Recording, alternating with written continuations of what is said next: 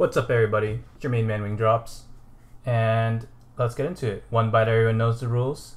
This is the JG Sky High at the Four Seasons Hotel in Philadelphia. Um, it's on the 60th floor, and here we have the black truffle and fontina cheese pizza. And we're going in. It's pretty dang good, actually. Um, I actually approve. It's very, very light, very cheesy, thin crust, decent undercarriage, um, very strong truffle flavor, but the cheese is really pronounced too. You can tell that they used a high quality cheese on there, and they put a bunch of like herbs on top as well. It's a pretty darn good pizza. So I'll mess around and give it an 8 2.